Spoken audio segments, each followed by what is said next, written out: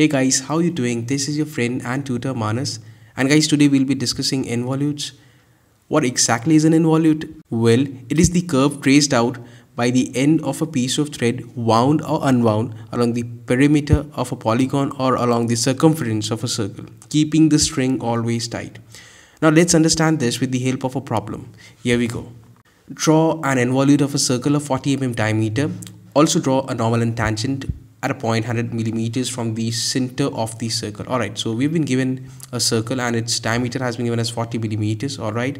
Now if you try to find the circumference of the circle it's going to work out as pi d and putting the values you'll get this as 125.7 now guys if you look at the definition of involute we speak of wounding or unwounding a piece of thread or a piece of string all right?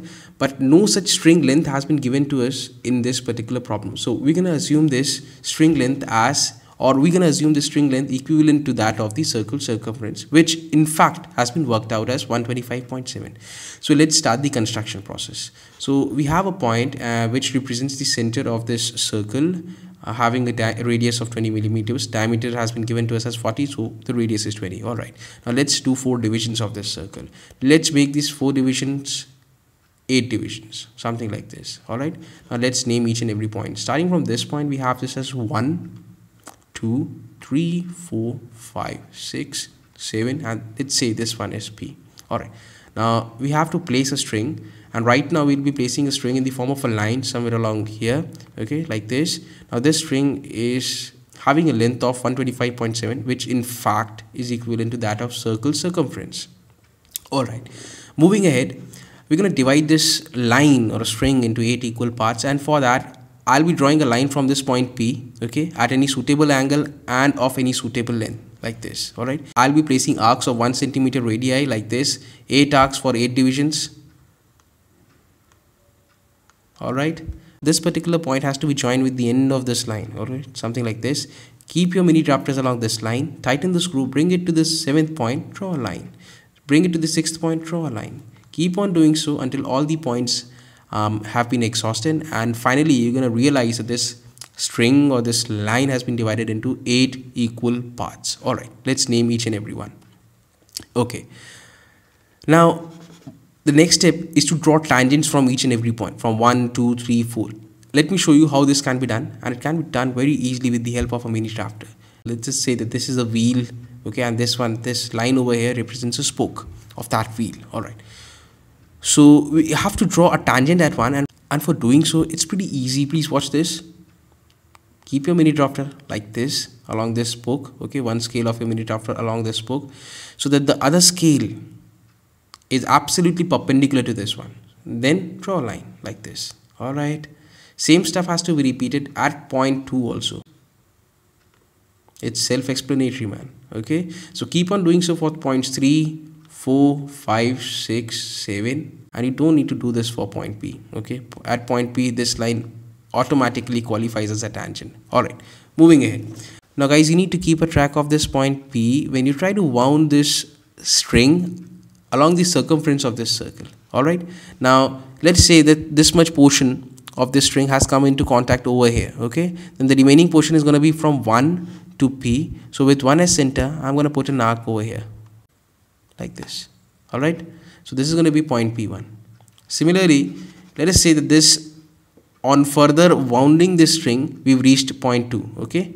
So this much portion of the string has come into contact. So what's remaining is from 2 to p.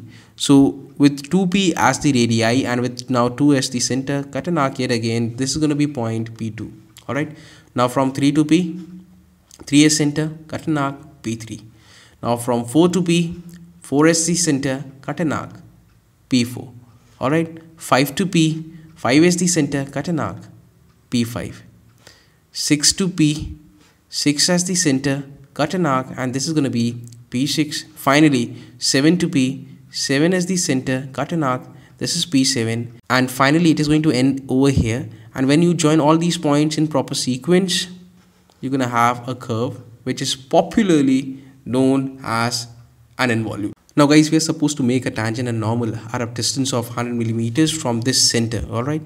So with this as center and with a radii of 100 millimeters, you have got to cut an arc over here, okay? So this is this like this point lies at a distance of 100 millimeters from this point from this center in fact. So let's join both these points with the help of a line. So this line is having a length of 100 millimeters and its center is going to be somewhere here or at a distance of 50 millimeters from this point okay let's have the center. This is the center and with this much or this much as the radii let's have a semicircle. Done. Now this particular semicircle you see guys is intersecting this circle's circumference somewhere here. Let's make a point over there.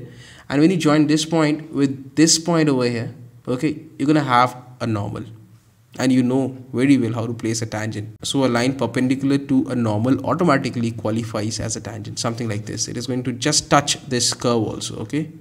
That's the tangent.